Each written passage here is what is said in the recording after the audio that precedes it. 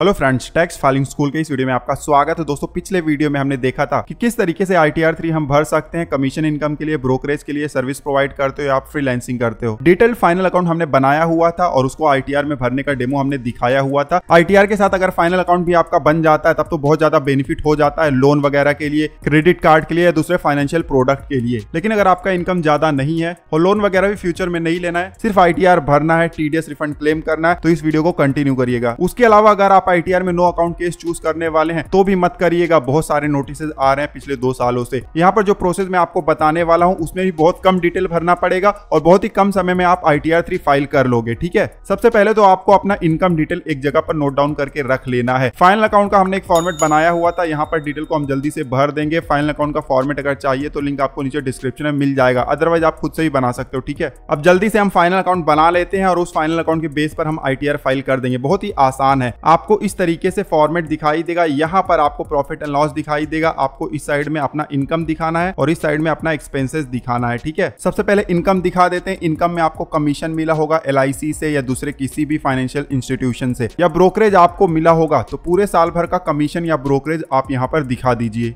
दूसरा कोई भी इनकम होगा तो वो भी आप दिखा सकते हो। उसके बाद डेबिट साइड में आएँगे, यहाँ पर आप अपना एक्सपेंसेस दिखा सकते हो। अगर आप नहीं दिखाना चाहते हो तो आप छोड़ भी सकते हो। लेकिन मैं तो सजेस्ट करूँगा, जो कॉमन एक्सपेंसेस होते हैं, जैसे कि ट्रैवलिंग के टेलीफोन के टी कॉफ़ी एक्सपेंसेस एडवर्टाइजमेंट के, ये सब आप ज़रूर दिखा दो, क्योंकि इसका फ़ायदा आपको मिलता है, आपका इनकम कम हो जाता है तो टीडीएस रिफंड पूरा का पूरा आ जाएगा। हमने कुछ बेसिक एक्सपेंसेस यहाँ पर दिखा दिए हैं। अब जो टोटल इनकम हो रहा है क्रेडिट साइड में, उसमें से हम अपना एक्सपेंसेस माइनस कर देंगे तो नीचे नेट प्रॉफिट हमें यहाँ पर दिखाई दे जाता है। अब प्रॉफिट यहाँ पर जो आया है, इसको हम कैपिटल अकाउंट में भेज देंगे। कैपिटल अकाउंट क्या है? कैपिटल अकाउंट आपको बैलेंस शीट में भरना पड़ता है। सबसे पहले बैलेंस ब्रॉड डाउन यहाँ पर आपको इंटर करना है। मतलब एक अप्रैल के आसपास बिज़नेस चलाने के लिए आपके पास कितना कैपिटल था? बहुत आसान तरीका कि आपके पास कितना कैश बैलेंस था और बैंक में कितना बैलेंस था, उसके हिसाब से आप कैपिटल जान सकते हो।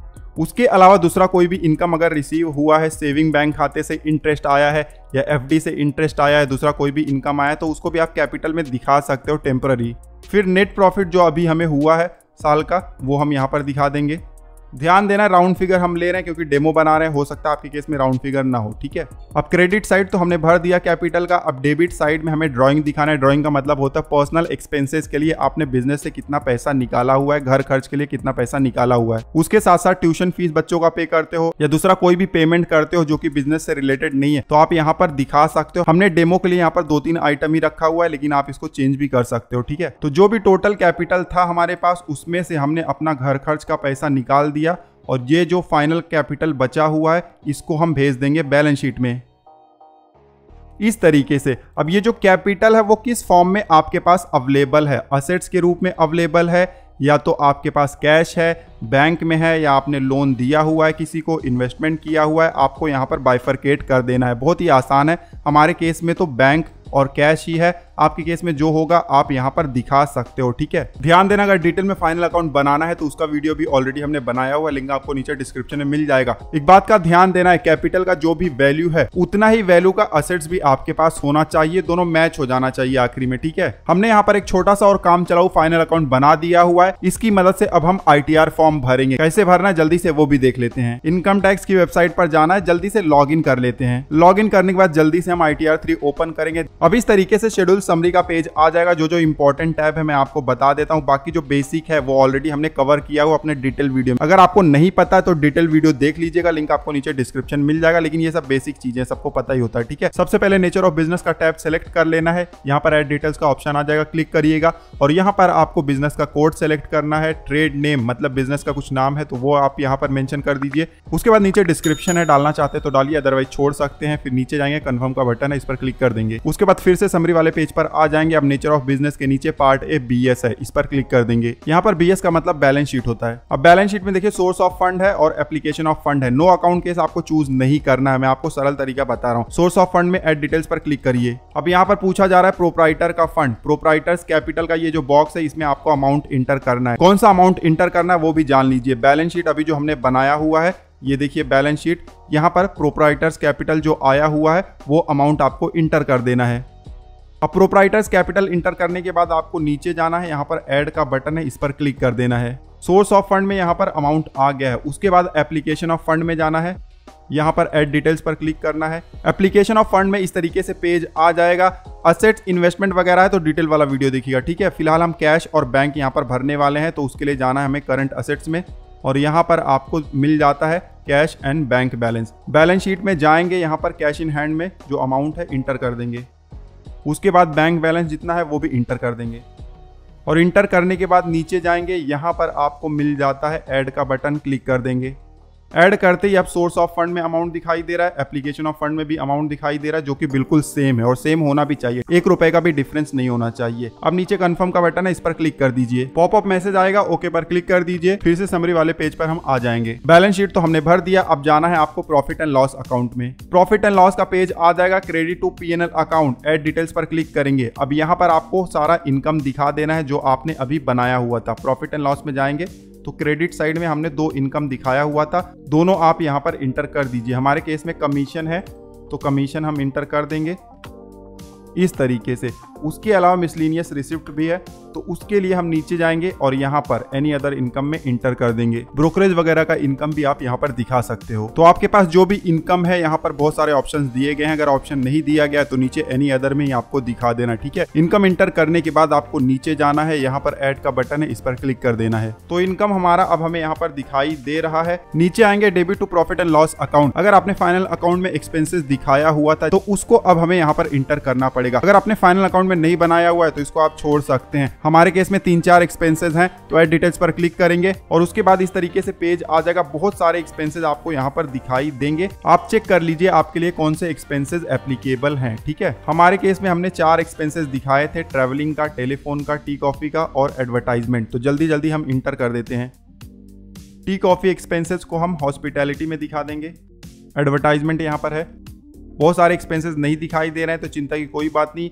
दो पेज है, यहाँ ये पहला पेज है कंटिन्यू पर क्लिक करेंगे, दूसरा पेज आ जाएगा। ठीक है, यहाँ पर भी आप देख लीजिएगा ट्रैवलिंग एक्सपेंसेस हमारे केस में है।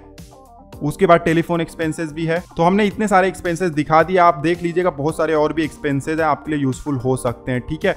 जो भी एक्सपेंसेस यहाँ पर आपको दिखाई ना दे, लेकिन आपके केस में है तो उसको आप अदर एक्सपेंसेस में मेंशन कर सकते हो, ठीक है? डिटेल वाला वीडियो देखिएगा, उसमें इन सब चीज़ों के बारे में हमने डिटेल में बात किया हुआ है। फिर नीचे आएँगे और यहाँ पर एड का बटन है, इस पर क्लिक कर देंगे। अब इस तरीके से पेज आ जाएगा क्रेडिट साइड में इनकम दिखाई दे रहा है, फिर यहाँ पर एक्सपेंसेस दिखाई दे रहा है और यहाँ पर नेट प्रॉफिट है। नेट प्रॉफिट सेम है मैच हो रहा है, ठीक है? उसके बाद नीचे जाएँगे कंफर्म का बटन है, इस पर हम क्लिक कर देंगे। अब नो अकाउंट केस आपको भरने की ज़रूरत नहीं आपने देखा कितना आसान है बैलेंस शीट भी आपने भर दिया और प्रॉफिट एंड लॉस अकाउंट भी आपने भर दिया हुआ है। एक चीज़ का ध्यान देना, जो भी टैब आपके लिए एप्लीकेबल नहीं है, उसको ओपन करके फिर आप नीचे जो कन्फर्म का बटन होगा, उस पर क्लिक कर दीजिएगा। तो वो सेव हो जाएगा ऑटोमेटिकली तो profit and loss account balance sheet हमने भर दिया हुआ है। उसके बाद कुछ दूसरे भी एक्सपेंसेस हैं, जैसे कि हमारे केस में इंटरेस्ट हमें रिसीव हुआ है 800 का सेविंग बैंक खाते से। तो उसको अदर सोर्स में दिखा देंगे। समरी में शेड्यूल अदर सोर्स में जाएँगे। यहाँ पर पहले ही रो में एड डिटेल्स का बटन है, इस पर क्लिक करेंगे। अब इस तरीके से ड्रॉप डाउन आ जाएगा। इंटरेस्ट वाला ऑप्शन सेलेक्ट कर लेंगे। अब पहला ही ऑप्शन है यहाँ पर सेविंग बैंक खाते का इंटरेस्ट यहाँ पर अमाउंट इंटर कर देंगे। इंटर करने के बाद नीचे एड का बटन है, उस पर क्लिक कर देना है। यहाँ पर एक चीज़ का ध्यान देना है। कभी कभी आपको अदर सोर्स में आपके कमीशन का इनकम दिखाई देता है। या फ्रीलांसिंग का इनकम दिखाई देता है, क्योंकि बहुत बार 26 एएस से डायरेक्टली यहाँ पर इम्पोर्ट हो जाता है। तो यहाँ से आपको डिलीट कर देना है, क्योंकि बिज़नेस इनकम में ऑलरेडी आपने दिखा दिया हुआ है। और उसके बाद इस तरीके से पेज आ जाएगा, नीचे जाना है कन्फर्म का बटन है क्लिक कर दीजिएगा। उसके बाद अगर कोई डिडक्शन है तो उसको भी आप डिडक्शन वाले पेज में दिखा दीजिएगा, ठीक है? हमारे केस में सेक्शन 80 का डिडक्शन है तो जल्दी जल्दी हम इंटर कर देंगे पार्ट बी में। दूसरा भी एक डिडक्शन है, सेक्शन 80 टीटीए का, इंटरेस्ट जो मिला हुआ है सेविंग बैंक खाते पे, उसका भी डिडक्शन हम जल्दी से यहाँ पर क्लेम कर लेंगे। क्लेम करने के बाद इसको आपको सेव कर देना है।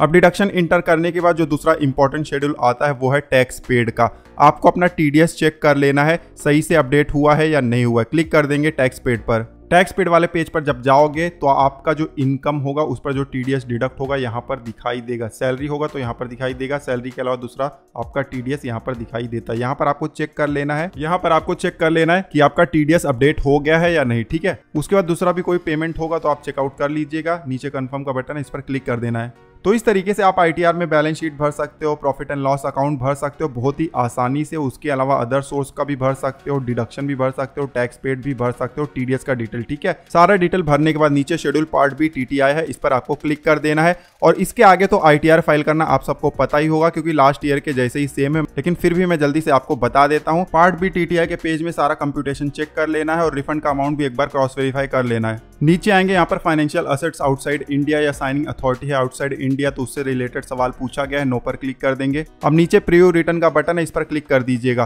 प्रियो रिटर्न का पेज आ गया, यहाँ पर आईपी एड्रेस ऊपर दिया गया है, उसके बाद एक चेक बॉक्स है, इस पर क्लिक कर दीजिएगा। नीचे आएँगे प्रोसीड टू प्रीव्यू का बटन है इस पर क्लिक कर देंगे। अब यहाँ पर आपको फॉर्म दिखाई देगा, सारा डिटेल आपको चेकआउट कर लेना है जो आपने भरा हुआ था। उसके बाद नीचे जाएँगे प्रोसीड टू वैलिडेशन का बटन है इस पर आपको क्लिक कर देना है। अब इस तरीके से आपको स्क्रीन आ जाएगा। यहाँ पर लिखा गया है कि वैलिडेशन सक्सेसफुली हो गया कोई भी एरर नहीं है। अब नीचे प्रोसीड टू वेरिफिकेशन का पेज है, इस पर आपको क्लिक कर देना है। अब इस तरीके से तीन यहाँ पर ऑप्शन दिखाई दे रहे हैं वेरिफिकेशन के। वेरिफिकेशन का हमने एक सेपरेट वीडियो बनाया हुआ है डिटेल में, जिसका लिंक आपको नीचे डिस्क्रिप्शन में मिल जाएगा। ठीक है, हम पहला वाला ऑप्शन चूज़ करेंगे ई वेरीफाई नाउ और नीचे कंटिन्यू का बटन है, इस पर क्लिक कर देंगे। अब यहाँ पर बहुत सारे ऑप्शन आपको दिखाई देंगे। पहला वाला ऑप्शन हम चूज़ करेंगे आधार ओटीपी का और फिर नीचे कंटिन्यू का बटन है, इस पर क्लिक करेंगे। अब इस तरीके से पॉपअप मैसेज आ गया है। यहाँ पर हम आई एग्री पर क्लिक करेंगे और जनरेट आधार ओटीपी वाले बटन पर क्लिक करेंगे। आधार ओटीपी सेंड हो गया है। आधार रजिस्टर्ड मोबाइल नंबर पर जो ओटीपी आया होगा, जल्दी से आप यहाँ पर इंटर कर दीजिएगा। और फिर वैलिडेट पर क्लिक कर देना है। अब कन्फर्मेशन हमसे पूछा जा रहा है कि क्या आप सबमिट करना चाहते हैं? तो यस हम सबमिट करना चाहते हैं। सबमिट पर क्लिक कर देंगे। और सबमिट पर क्लिक करते ही हमारा इनकम टैक्स रिटर्न फ़ाइल हो गया है। मोबाइल नंबर, ईमेल आईडी पर हमारे कंफर्मेशन भेज दिया गया है। नीचे डाउनलोड रिटर्न का बटन है, इस पर क्लिक करके आप आईटीआर का कॉपी डाउनलोड कर सकते हो। तो इस तरीके से आप बहुत ही आसानी से अपना इनकम टैक्स रिटर्न फ़ाइल कर सकते हो, कमीशन इनकम के लिए या ब्रोकरेज के लिए। बहुत ही आसानी से, ठीक है? आई होप कि ये वीडियो आपके लिए यूजफुल रहा होगा। इस वीडियो से रिलेटेड कोई भी क्वेरी है तो आप नीचे कमेंट कर सकते हो। इस वीडियो में बस इतना ही, मिलते हैं आपसे अगले वीडियो में, तब तक आप हँसते रहे, मुस्कुराते रहे। धन्यवाद।